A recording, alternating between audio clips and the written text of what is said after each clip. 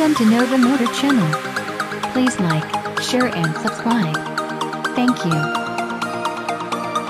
Beta shocked the dual sport motorcycle world last year with the impressive all-new 125 RRS, which used a diminutive 4-stroke motor in an enduro-ready street legal package.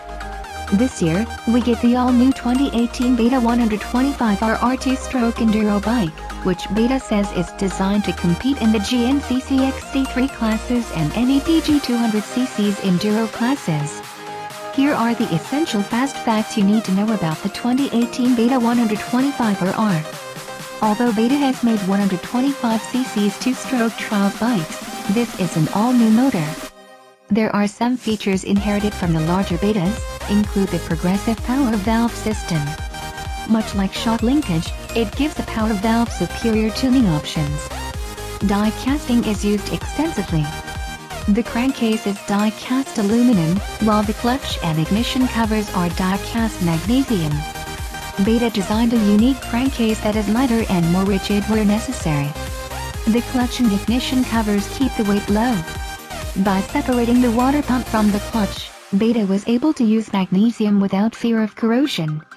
The 125RR's top end has a dual-ring piston, removable cylinder head dome, and a unique exhaust flange.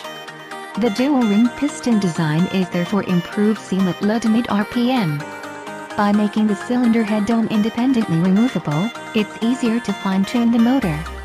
Thanks to a separately machined exhaust flange, something Beta does on the big 2018 RRs, also, the piston flap cylinder front tolerance is smaller, again, this is to reduce the leaking of gases and increase low-end power. A Moto Tassinari VForce4 reed valve is used. This is yet another low RPM power enhancer, and Moto has a superb reputation. There is a 6-speed transmission, and a compact clutch. The clutch actuator is integrated into the outer clutch cover, and transmission gears are forged.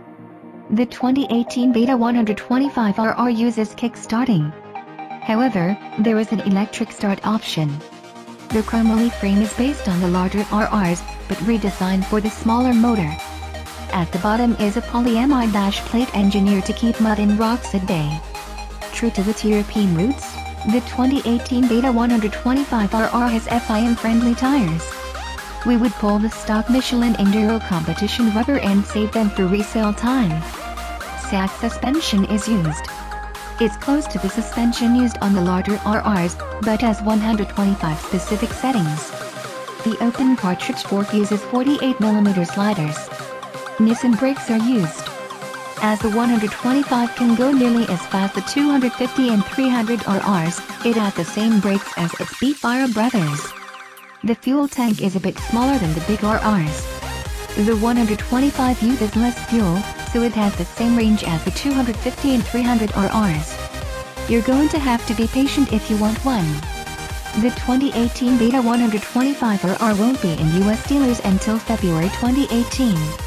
We'll try to chase one down sooner for a test to find out if the bike is as enticing as it seems.